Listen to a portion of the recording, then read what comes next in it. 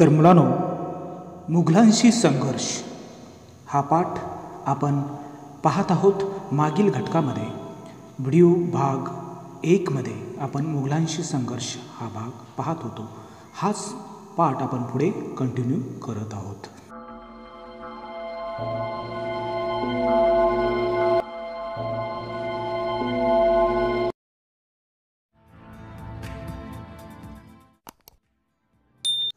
तर मागील घटकामध्ये आपण कोणकोणते मुद्दे अभ्यासले? त्याविषयी आपण थोडंसं बोलूया. शाहिस्ता खानाची स्वारी हा मुद्दा आपण अभ्यासलेला होता. त्याचप्रमाणे सुरतेवर स्वारी हा सुद्धा मुद्दा अभ्यासलेला होता जयसिंगाची स्वारी. त्यानंतर आग्रा भेट व सुटका यापर्यंत आपण येऊन पोहोचलेलो होतो. आता आपण हा भाग इथून पुढे अभ्यासणार आहोत. तर आपण हा भाग अभ्यासूया आता. आग्रा भेट व सुटका.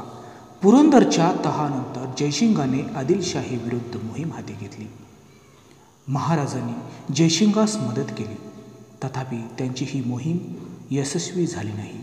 त्यावेळी महाराजांना काही काळ तरी दक्षिणेच्या राजकारणापासून दूर ठेवावे असा विचार जयसिंग व औरंगजेब बादशाह यांनी केला.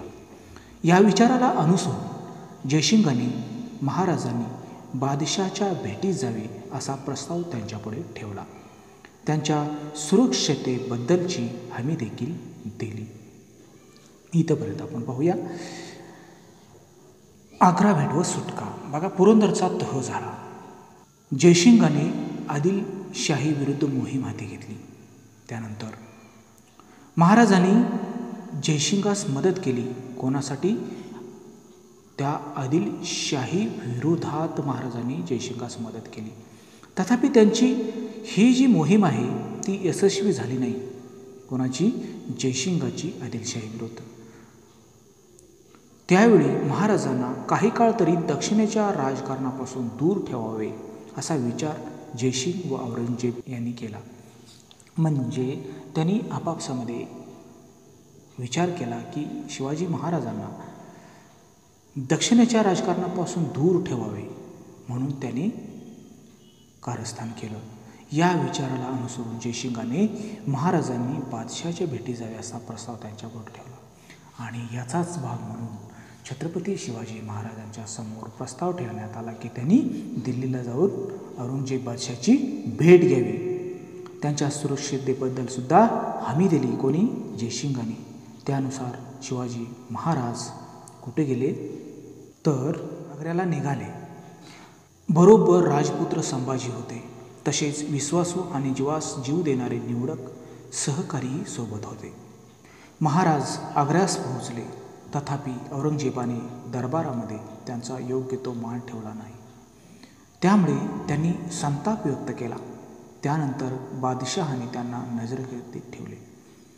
बादशाच्या या कृतीने डगमगून न जाता महाराजांनी नजरकैदेतून आपली सुटका करून घेण्याची योजना आखली.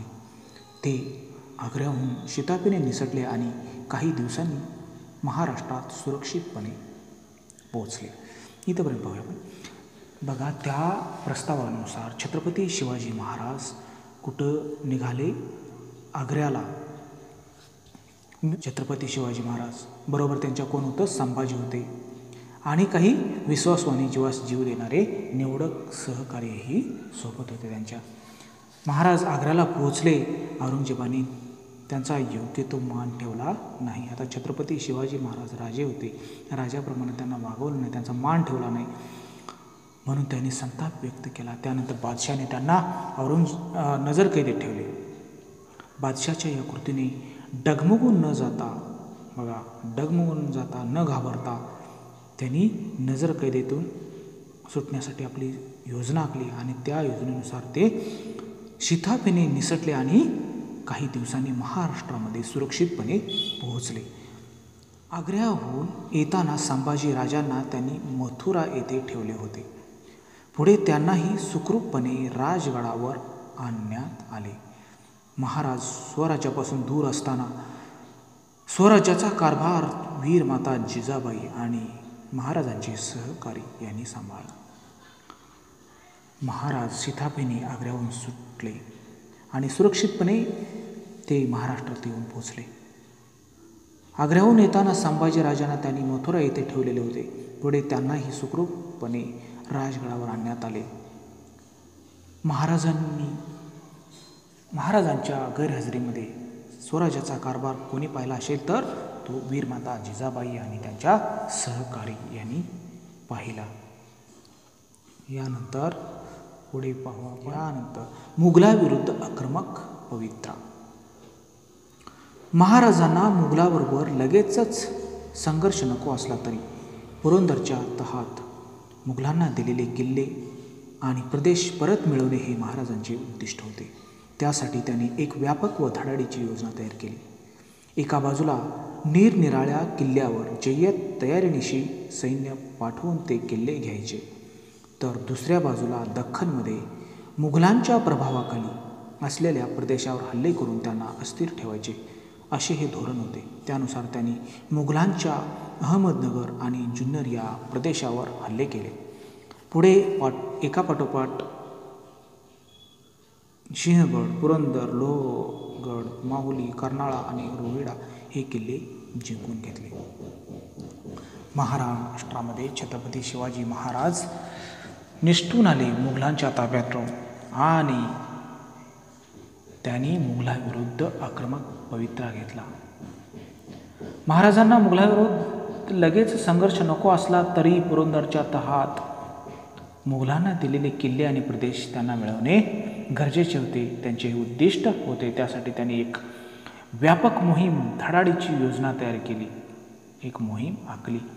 एका बाजूला निरनिराळ्या किल्ल्यावर जय्यत तयारीनिशी सैन्य पाठवून ते किल्ले घ्यायचे तर दुसऱ्या बाजूला दख्खनमध्ये मुघलांच्या प्रभावाखाली असलेल्या प्रदेशावर हल्ले करून त्यांना अस्थिर ठेवायचे असे त्यांचे धोरण होते. त्यानुसार त्यांनी अहमदनगर आणि जुन्नर या प्रदेशामध्ये हल्ले केले आणि एका पाठोपाठ एक किल्ले त्यांनी ताब्यात घेतले. यानंतर शिवाजी महाराजांनी दुसऱ्यांदा सुरतेवर स्वारी केली. तेथून परत येताना नाशिक जिल्ह्यातील वनी दिंडोरी या ठिकाणी त्यांचा मुलाबरोबर मोठा संघर्ष झाला. या संघर्षात त्यांनी दाऊद खान या मुघल सरदाराचा पराभव केला. त्यानंतर मोरोपंत पिंगळे याने नाशिकजवळील त्र्यंबकगड जिंकून घेतला. छत्रपती शिवाजी महाराजांनी दुसऱ्यांदा सुरतेवर स्वारी केली आणि तिथून परत येत असताना त्यांनी नाशिक जिल्ह्यातील वनी दिंडोरी या ठिकाणी मुघलाबरोबर मोठी लढाई केली संघर्ष केला. आणि त्या संघर्षामध्ये दाऊद खान हा मुघल सरदार पराभूत झाला. त्यानंतर मोरोपंत पिंगळे यांनी त्र्यंबकच्या जवळील एक किल्ला आहे त्या किल्ल्याचं नाव त्र्यंबकगड. तो जिंकून घेतला. अशा रीतीने महाराजांच्या मुघलाविरुद्धच्या चढाईच्या धोरणास यश मिळाले व चढाईच्या मोहिमामध्ये तानाजी मालुसरी मोरोपंत पिंगळे प्रतापराव हुजर इत्यादी सरदारांनी मोलाची कामगिरी केली. या मोहिमांचे वर्णन कृष्णाजी अनंत सभासद या बखरकाराने पुढीलप्रमाणे केले आहे. चहू महिन्यात सत्तावीस गड घेतले. मोठी ख्याती केली. मग अशा प्रकारे छत्रपती शिवाजी महाराजांनी मुघलाविरुद्ध जी लढाई केली जी चढाई केली त्याला यश मिळालं. या लढाईमध्ये त्यांना कोणाकोणाची साथ मिळाली? तर तानाजी मोलू मालुसरे. तानाजी मालुसरे मोरोपंत पिंगळे प्रतापराव गुजर इत्यादी सरदारांची त्यांना साथ मिळाली. महाराजांच्या या मोहिमेचे वर्णन कृष्णाजी अनंत यांनी कसे केलेले आहे? तर चहू महिन्यात सत्तावीस गड घेतले. अवघ्या महिन्यामध्ये सत्तावीस गड घेतले. म्हणजे महाराजांची ख्याती खूप मोठ्या प्रमाणावर पसरले असं यांना म्हणायचं आहे. आता आपण पुढे जाऊया. वर्षाच्या अविश्रांत परिश्रमातून मराठ्यांचे स्वराज्य साकार झाले होते. तथापि स्वराज्याचे अस्तित्व स्वतंत्र व सार्वभौम आहे हे स्पष्ट करण्यासाठी या स्वराज्यास अधिकृतता आणि सर्व मान्यता प्राप्त होणे आवश्यक आहे. हे महाराजांच्या लक्षात आले यासाठी विधिवत राज्यभिषेकाची आवश्यकता होती. म्हणून त्यांनी त्यांनी सहा जून सोळाशे चौऱ्याहत्तर या दिवशी विद्वान पंडित गागा भट्ट यांच्या हस्ते रायगडावर आपला राज्याभिषेक करवून घेतला. पहा. काय केलं? राज्याभिषेक. सत्तावीस वर्षाच्या न थांबता कष्टातून जे राज्य उभारलेलं होतं स्वराज्य उभारलेलं होतं. ते खूप मोलाचं होतं. त्यासाठी खूप मोठं कष्ट छत्रपती शिवाजी महाराजांनी केलेलं होतं. त्या परिसरामातून हे स्वराज्य उभारलेले होते.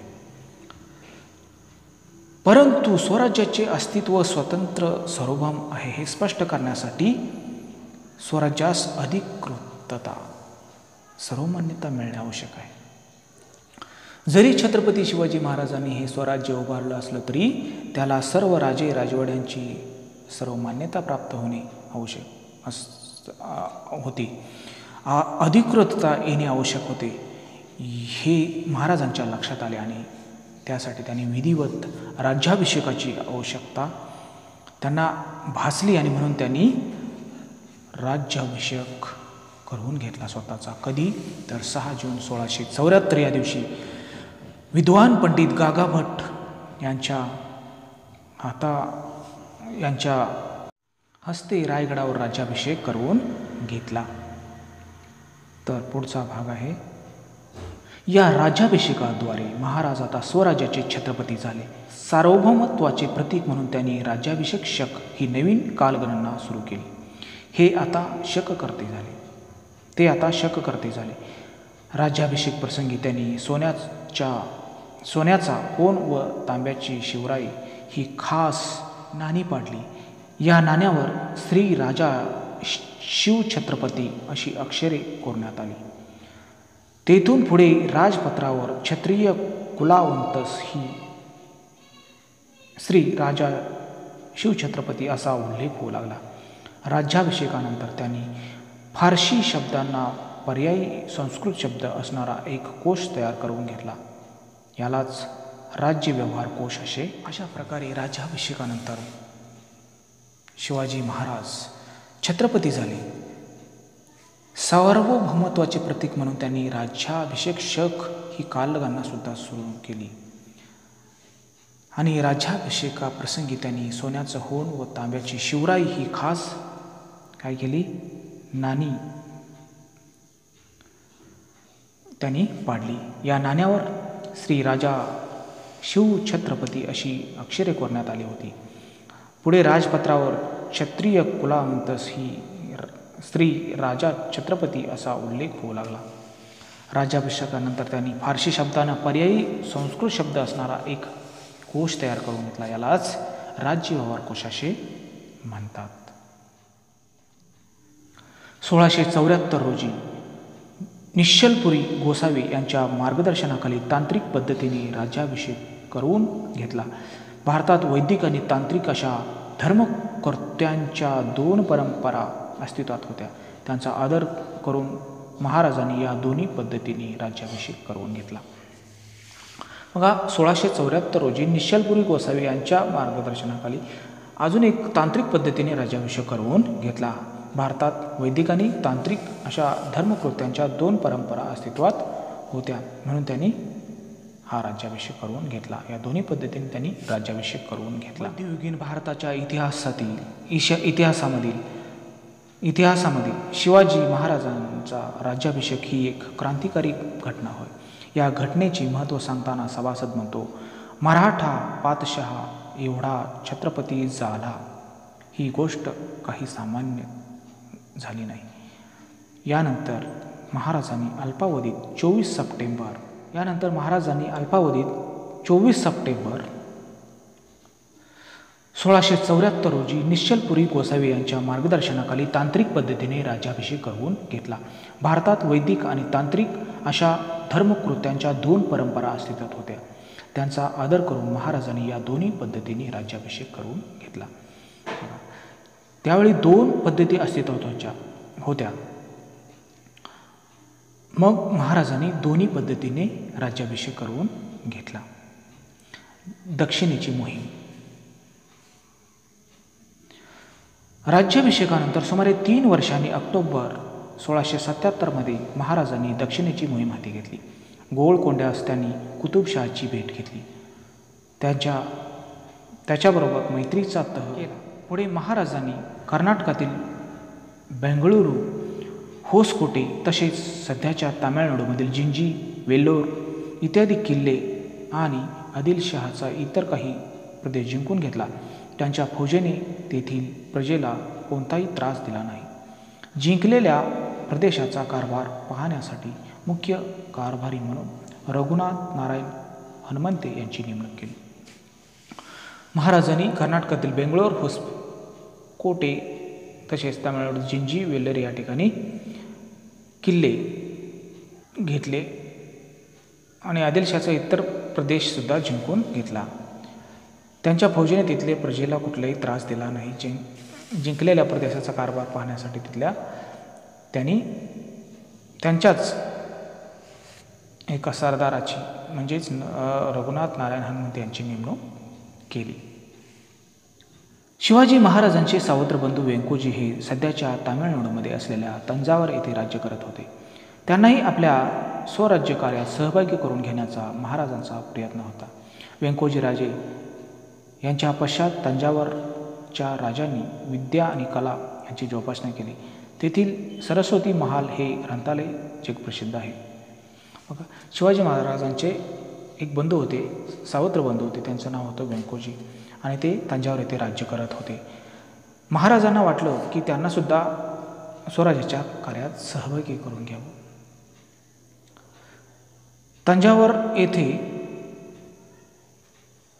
विद्या आणि कला यांची त्यांनी जोपासना केलेली होती. तिथला सरस्वती महाल हा प्रसिद्ध ग्रंथालय जगप्रसिद्ध आहे. दक्षिणेच्या मोहिमेत तामिळनाडूतील जिंजीचा किल्ला जिंकून तो स्वराज्याला जोडण्याच्या शिवाजी महाराजांच्या कृतीला पुढील काळात निर्णायक महत्त्व आले. मुघल बादशाह औरंगजेब स्वराज्य नष्ट करण्यासाठी महाराष्ट्रात ठाण मांडून बसल्यामुळे तेव्हाचे छत्रपती राजाराम महाराज यांना सुरक्षितेसाठी दक्षिणेमध्ये दिल्लीचा मुघल बादशाह स्वराज्य नष्ट करण्यासाठी ठाण मांडून बसला. इथे येऊन बसलेला होता की कसंही करून छत्रपती शिवाजी महाराजांचं राज्य नष्ट करायचं. पण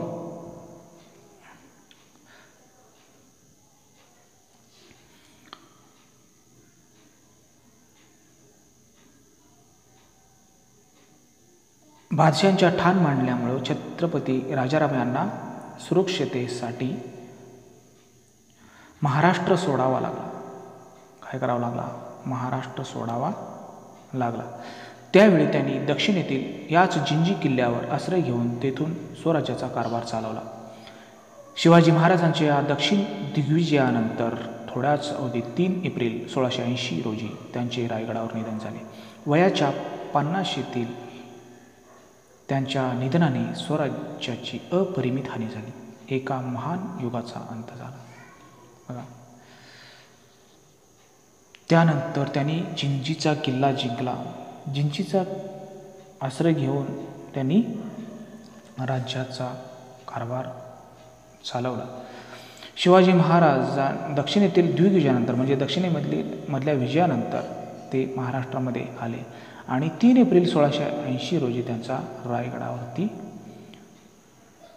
देहांत झाले. त्यांचे निधन झाले. त्यांचं वय होतं त्यावेळी पन्नाशी. वयाच्या पन्नाशीतील त्यांच्या निधनाने स्वराज्याची अपरिमित हानी झाली. एका महान युगाचा अंत त्या ठिकाणी झालेला दिसून येतो. अशा पद्धतीनं हा पाठ संपलेला आहे. या पाठाचे स्वाध्याय तुम्ही सोडवायचे आहेत. इथं स्वाध्याय दिलेला आहे. तर भेटूया मुलांनो एका पुढील घटकामध्ये. तोपर्यंत नमस्कार.